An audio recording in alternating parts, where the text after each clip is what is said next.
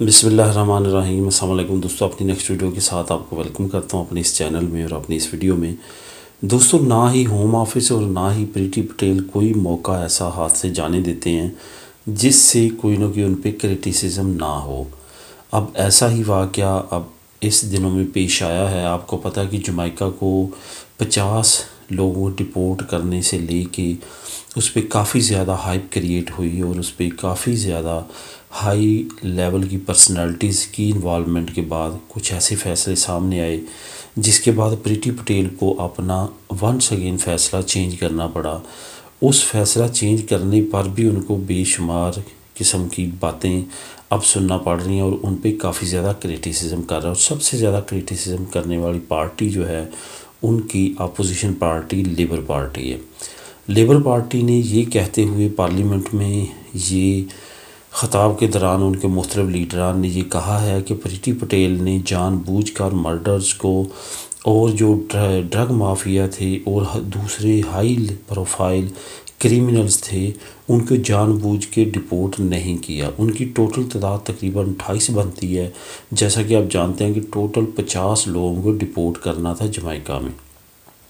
जब पूरी दुनिया में ये तहरीक चली कि उनको डिपोर्ट नहीं करना चाहिए और इकसठ से से बढ़कर इक्यानवे जो अदाकार और हाई पर्सनालिटी जो यूके के अंदर थी, जो, जिसको हम कह कह सकते हैं कि ब्लैक पीपल उन, उनकी तरफ़ से एक सिग्नेचर मुहिम चली, जो कि इक्यानवे लोगों ने सिग्नेचर किए उसमें हाई प्रोफ़ाइल अदाकार आर्टिस्ट वगैरह भी शामिल थे, जिन्होंने डिमांड की हकूमत के साथ और एयरलाइंस के एग्जेक्टिव्स के साथ कि वो जो है डिपोर्ट ना करें। जब हुकूमत की तरफ़ से कोई ना सुनवाई हुई तो उन्होंने एयरपो एयरलाइंस के एग्जेक्टिव्स को भी पटिशन दायर की कि वो अपनी सर्विस ना चलाएँ इन लोगों को डिपोर्ट करने के लिए।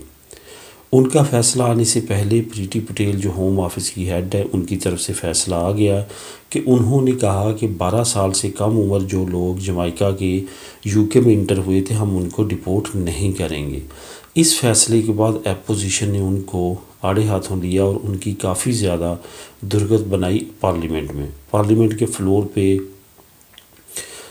लेबर पार्टी की तरफ़ से जो उनके अहम रहनमा एम पीज़ हैं, उन्होंने काफ़ी ज़्यादा क्रिटिसिज्म की प्रीति पटेल के इस फैसले पे और कहा कि इन लोगों को उन्होंने छोड़ के दोबारा हमारी सोसाइटी को ख़तरे में डाल दिया। उन्होंने हवाला दिया कि एक ऐसा शख्स जिसको छोड़ दिया गया जो पहले बामुश्किल चालीस दिन पहले जेल से रिलीज़ हुआ था और उसने चालीस दिन के अंदर अंदर एक और मर्डर किया और दोबारा से वो पकड़ा गया।